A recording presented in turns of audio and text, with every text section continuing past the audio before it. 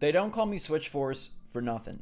I've been in this game since before it was called the Switch. This channel originated before the Nintendo Switch came out. And so you've come to the perfect place to figure out which Switch to get, or if you need, want, maybe should upgrade. So, good morning, Mario, and good morning, Switch fans. I am proud to lead you through this perilous journey. All right, there are three Nintendo Switch models and they all are varying levels of price, varying levels of functionality, and varying levels of recommendation. We're just going to jump straight into it because there weren't really any sales for the Switch console for Black Friday, for Cyber Monday, for any of it. So you may still be looking for the Switch for your significant other, for your child, for your friend, for your grandma, or for yourself. There's the Switch Lite, the Switch OG, the regular, and the Switch OLED.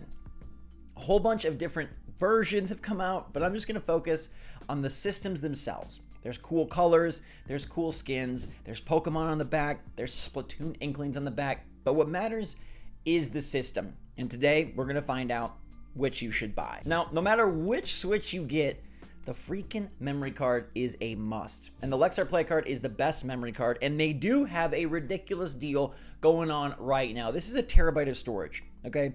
That is so much. It's a massive memory card that will hold every Switch game you ever need to download, every save file, and do it securely and speedily.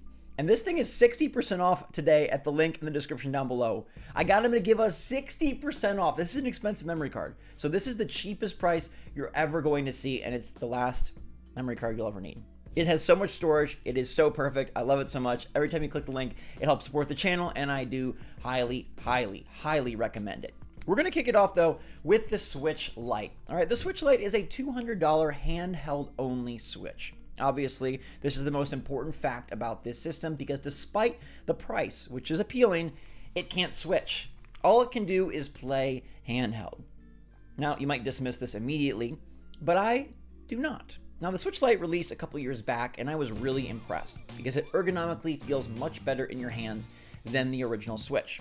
It's got a smaller form factor and it's got a true D-pad. Okay, and just the position of the Joy-Con that don't detach feels better to play. This is a very nice system, and the smaller screen actually does favors for some games by making the resolution look a little bit crispier a little bit better.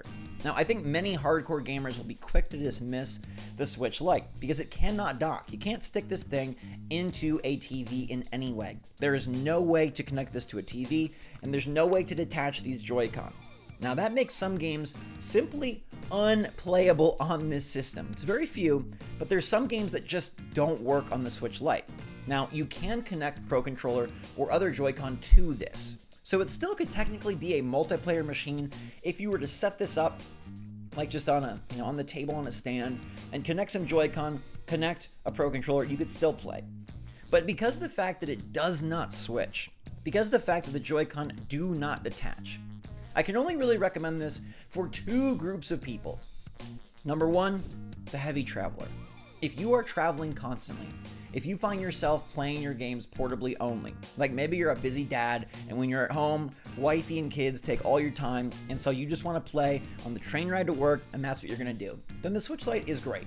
You can't play Super Mario Party, but that's okay because Mario Party Superstars is better. You can play everything you need to play Breath of the Wild, Metroid Dread, Pokemon Scarlet and Violet, and it's the perfect system at the perfect price. $200 is still a lot, but it's definitely less than the $300 range of the other systems. So if you are someone that's on the go and maybe prefers to play like you're a GBA player, a DS player, a 3DS player, this will work insanely well for you. The other category is if it's a small kid. I think if you're 10 years or under, this is still a great pickup. It saves you some money and it's the personalized device at an era and time in their lives where personal property means the most.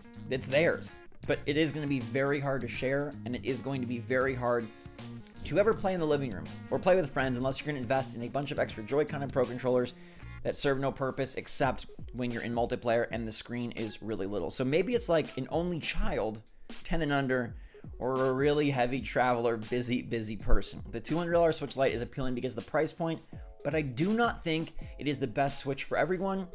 And I think it really only works in specific use cases. And I've found myself this year in particular not using this system at all. As somebody that plays every Switch game, a heavy Switch user, uses all the controllers, buys all the accessories, this is probably my least favorite system. And I don't want that to turn you off completely, but I do think the investment of an extra 100 to $150 is well worth it when you can actually switch the console.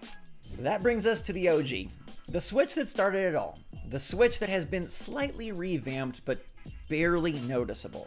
This is the Switch that everyone has and everyone talks about. This is a $300 system, and the Joy-Con can come on and off, and the screen does have a very thick black bezel around it. Okay, this is a perfectly great Switch, and it was a perfectly great Switch for many years. It's a fine system, one of Nintendo's very best catalogs, and it's $300.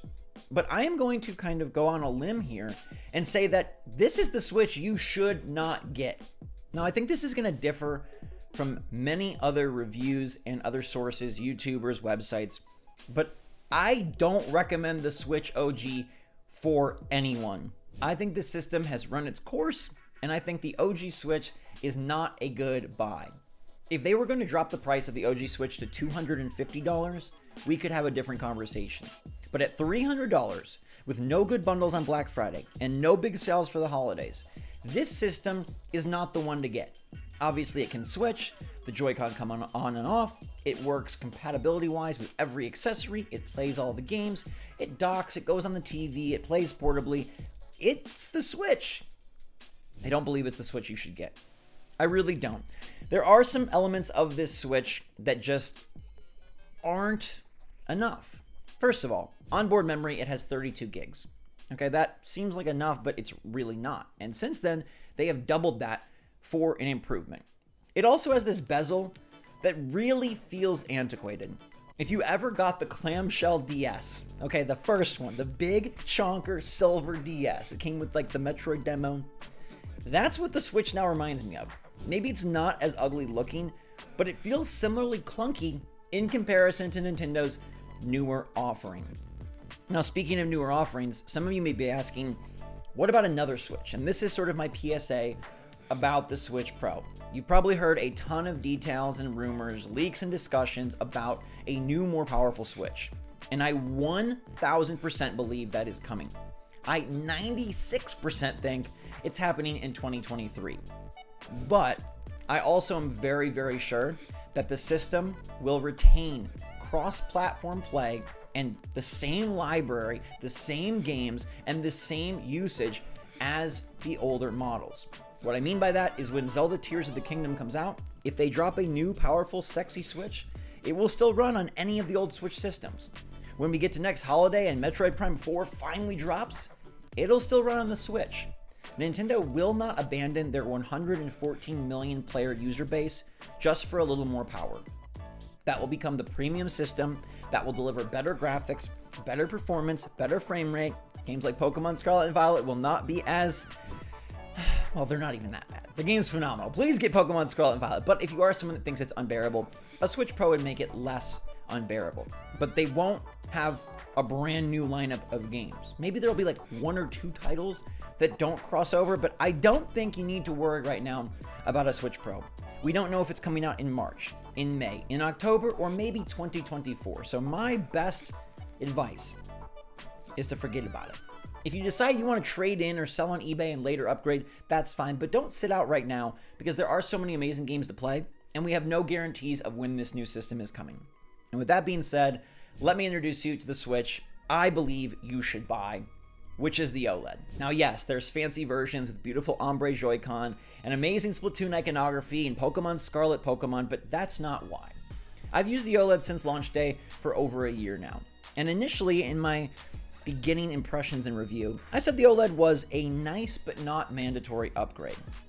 That the OLED had some additional features that were really cool and it's my preferred way to play, but it's not something that you have to go out and get, and $50 feels like a good chunk.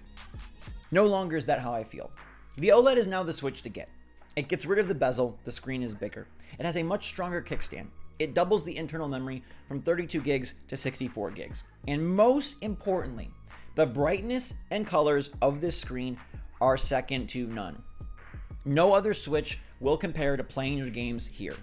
Once you experience Super Mario 3D World, Animal Crossing New Horizons, and Zelda Breath of the Wild on the Switch OLED, you will never want to go back. Look, I have a Steam Deck, one of those fancy, expensive PC portables, and I can play way more games on the Steam Deck, and they run at higher resolutions with way better frame rates and way less glitches. But I prefer the Switch OLED if the games are comparable because of the screen. The OLED screen is stronger than even the Steam Deck screen. Its vibrancy and its colors are brighter and more lifelike and pop off the system. Of course, the OLED also switches from dock to portable. The Joy-Con come on and off. It works with every accessory, but it's that screen that seals the deal. Yes, it's $50 more, but do not set yourself up for a situation where you're gonna see your friends and want to upgrade because the difference between the bezel and the darker screen and the no bezel and the brighter screen is substantial. Okay? When it takes up almost the entire real estate with the bigger screen compared to that bezel, it's a whole different world. It really does make a major difference in every time I play the game. Now, if you're someone that plays only on the TV, okay, but I bet you'll take this on the go. I bet you'll play in bed. I bet you'll play in the bathroom. And I bet you'll play on the go. Now, the other great thing about the OG Switch and the OLED is it can use one of these.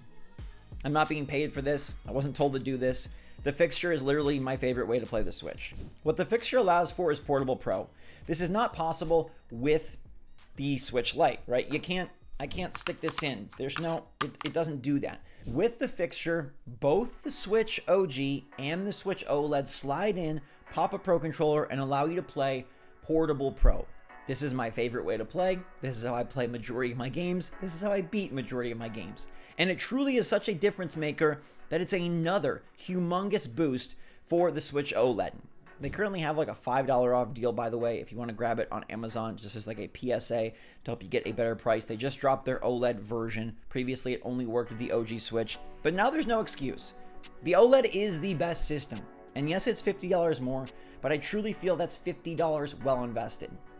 You might find someone at Best Buy or Walmart or even a relative try to convince you that why spend the 50? The systems play the, the same games. They do the, the same exact thing. They have the same exact Joy-Con, the same exact controllers. Why drop 50 more when that could be used on a heating bill or another present or just saving? I really feel like the $50 is well spent. I would rather have one less game and a better Switch than one more game and a worse Switch because this OLED will be bright and shiny forever and you can save for another game. This Switch does feel antiquated, does feel out of date. And so I have to say, unless you're a heavy travel portable player or a small child, the OLED is the way to go. This is the system to buy because of its bigger, better screen.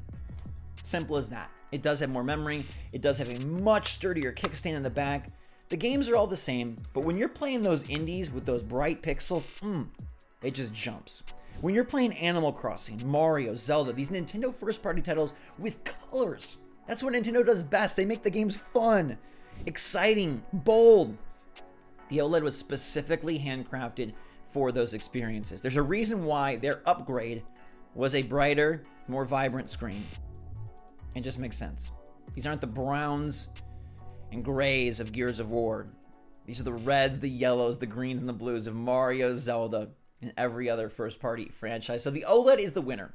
I know $350 is a lot. They have not dropped the price ever. In fact, they've increased the price. The special editions cost more. But the regular OLED with white Joy-Con or the red and blue Joy-Con is a fantastic pickup, and anyone will be so excited. It's the newest system as well. So if you're looking for just that wow factor, there's currently nothing newer. Maybe one day there'll be a Pro, but like I said, don't worry about that. The OLED is the one to get, and I do think, even though the $50 is a substantial hike, it is worth it. So hopefully that helped you out. The OLED is the main go to for a heavy traveler portable player or a small kid. The Lite works. And I just don't think that the Switch, the OG, really has a place anymore until it gets a price drop. And if you are someone that does have an OG Switch or a Switch Lite and you're considering an upgrade, I do think it's worth it. If you're a big player of the Switch, if that's your primary console, I do think getting that better screen, find a way to, you know, gift this to somebody else or sell it on eBay, get some cash out of it and, and get that OLED. I really, really think it will make a world of difference for your experiences. And yeah, you can get by without it, but I sure wouldn't want to go back. So there you have it. That is the switch to buy in 2022. Thank you so much for watching, everybody. Hope you guys enjoyed this video. Stay safe, stay healthy, stay happy, stay positive out there. And until next time, love you lots. Switch Force out.